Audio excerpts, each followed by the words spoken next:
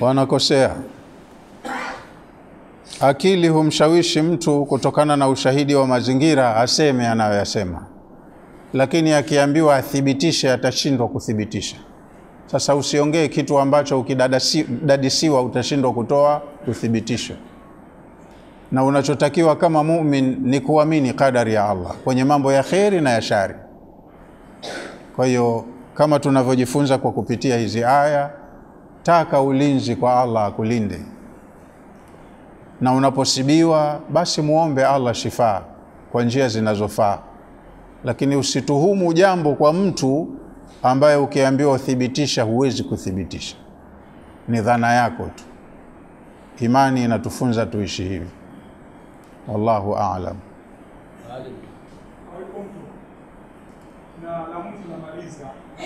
Kupata kusikia kwamba majini na wanadamu wanafanya ibada zinazofananishwa na Mwenyezi Mungu, Mm. lakini na malaika wanafanya kuna ibada zinaitwa tawadhu. Ibada gani? Naam. Hizo ibada za tawadhu ni ibada gani?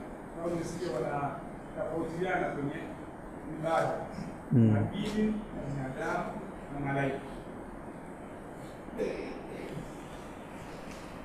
Haya, malaika ni viumbe wa Allah,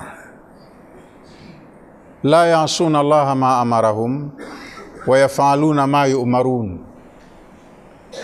hawamwasi Allah kwa chochote anachowaamrisha. Na hawafanyi nusunusu, wanafanya kamili kila wanachoagizwa. Lakini malaika wao hawana matamanio, hawako kama sisi. Binadamu na majini. Ndo tumepewa akili na tukapewa matamanio. Malaika wana akili lakini hawana matamanio, wala hawako wanaume na wanawake kama sisi, hawazaliani. Allah huumba tu hivi hivi, anawaumba wanakuwa tayari. Umefahamiana eh? Wanyama wamepewa matamanio lakini hawana akili. Kwa hiyo wanayoyafanya yako katika ile kadari ya Allah, hawaambiwi wanapata dhambi, vile ndo walivyokadiriwa. Lakini sisi binadamu ambao tumeumbwa tukapewa akili tukapewa na matamanio, halafu tukawekwa huru na tuna khiari. Malaika hawana uhuru na khiari ya kufanya watakavyo, sijui umenifahamu? Lakini wao wakishushiwa agizo ni kutekeleza agizo kama walivyoshushiwa. Sisi we unaambiwa swali, unasema sasa hivi Mungu mwenyewe ajua nilivyochoka, atansame. Usizidi basa, Mungu mwenyewe anajua jinsi nilivyo nilivyoathirika kwa huyu demu, atansame. Wewe na mimi ndo tuko hivyo, ushanifahamu? eh? Kwa hiyo ibada za malaika ndo kama hivyo unavyosema za tawadhu, wao ni kupewa agizo na wakatekeleza kama walivyoagizwa.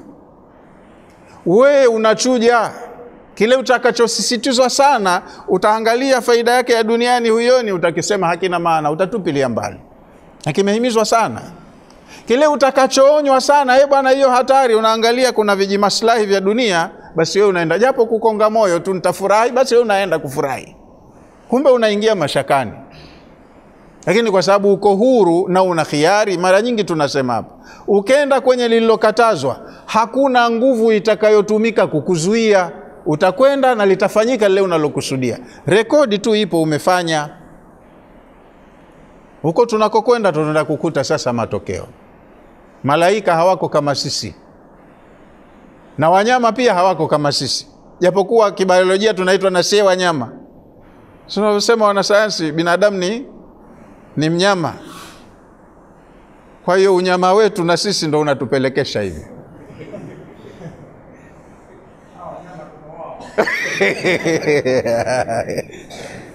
Naam, fahamu hapa mlezwa Mariam huyu Nabii Zakaria kama nani yake? mbona una haraka? Bado hatujesha huu mtiririko mrefu. Usi- Usichupe chupe ukaingia kule, utapata kuja jawabu hapa hapa mbele inshallah. Utapata jawabu na utaridhika, au huji tena baada ya leo?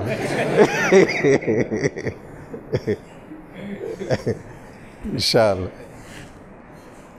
Bismillahi rahmani rahim. Alhamdulillahi rabbil alamin. Wassalatu wassalamu ala rasulillahi sallallahu alayhi wasallam rabbana taqabbal minna innaka antas samiul alim. Watub alaina innaka antat tawwabur rahim واغفر لنا وارحمنا إنك أنت الغفور الرحيم. ربنا آت نفوسنا تقواها وزكها أنت خير من زكاها أنت وليها ومولاها. ربنا زدنا علما وحكما وارزقنا فهما بفضلك يا لطيف. وعلمنا ما لا نعلم وفهمنا ما لا نفهم. إنك أنت ربنا وأنت الحكم وإنك على كل شيء قدير. ربنا اغفر للمؤمنين والمؤمنات والمسلمين والمسلمات الأحياء منهم والأموات برحمتك يا أرحم الراحمين. وصلى الله على سيدنا محمد وعلى آله وصحبه وسلم. الحمد لله رب العالمين.